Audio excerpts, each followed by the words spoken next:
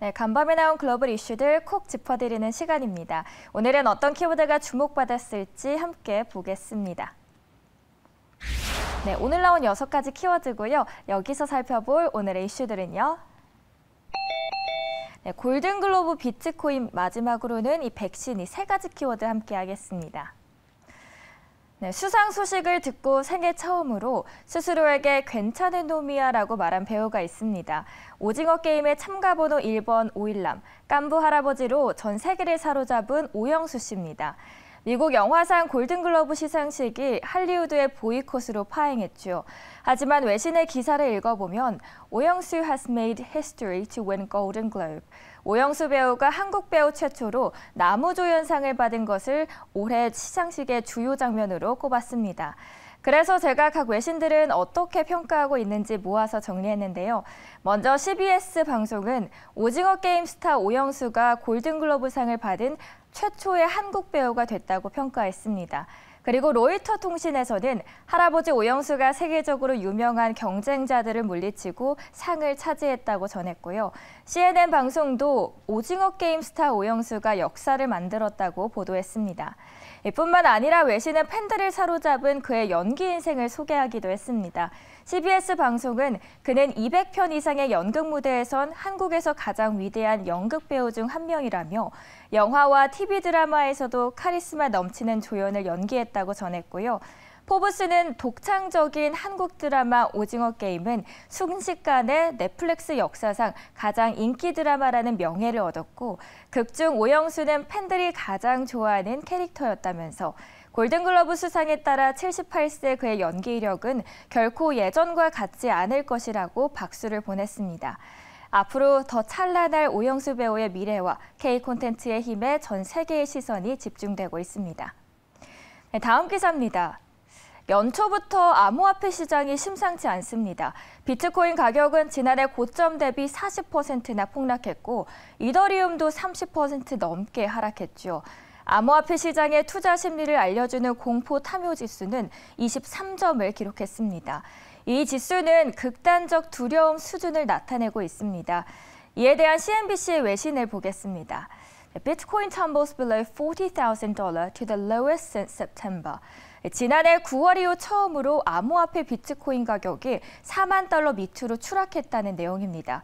최근 암호화폐는 새해 들어 기술주들과 운명을 같이 하고 있습니다. 새해 첫 거래에서 나스닥 지수가 4.5% 급락했을 때도 암호화폐 역시 동반 내려갔고요. 10일에는 미국 10년 만기 국채 수익률이 1.8%를 돌파하면서 주식 시장이 폭락하자 암호화폐 낙폭이 확대됐습니다. 한때는 또 디지털 금으로 불리면서 가치 보존 수단 역할이 기대됐던 비트코인이죠. 그런데 실상은 위험 자산이라는 점이 다시 확인되고 있다고 CNBC가 평가했습니다. 에치스는 시장이 불안하면 비트코인은 폭락한다면서 비트코인은 유동성 자산이기 때문에 심각한 충격 없이도 더 큰 매도 압력에 직면할 수 있다고 덧붙였습니다. 여기에 비트코인 결제를 내세우며 암호화폐 띄우기에 나섰던 기업이 있습니다. 지난해 비트코인으로 자동차를 구매할 수 있도록 하겠다고 전한 테슬라인데요. 비트코인이 급락하는 가운데 테슬라 주가도 동반 추락하고 있습니다. 주가가 1000달러 위에서 움직인다고 한때 천슬라라는 별명이 있던 테슬라는 이날 장중 1000달러 선이 무너졌습니다. 하지만 비트코인 가격은 저점을 찍은 후 다시 빠르게 4만 달러 선을 지켰습니다. 마켓워치의 기사도 함께 봤는데요.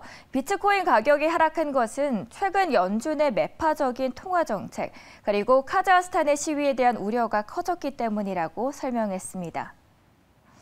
네, 이번에는 백신 보도 보겠습니다.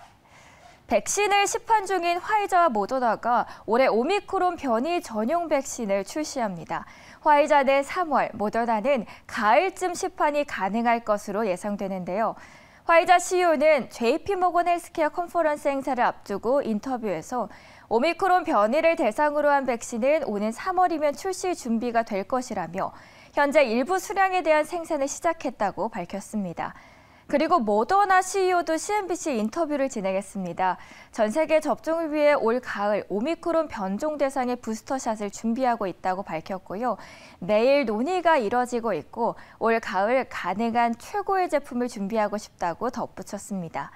기존 mRNA 백신의 추가 접종만으로도 오미크론 예방 효과가 높거나 사망률이 낮다는 연구 결과들이 나온 가운데 이 두 회사는 부스터샷은 물론 전용 백신으로도 오미크론 확산세를 잡겠다는 계획입니다.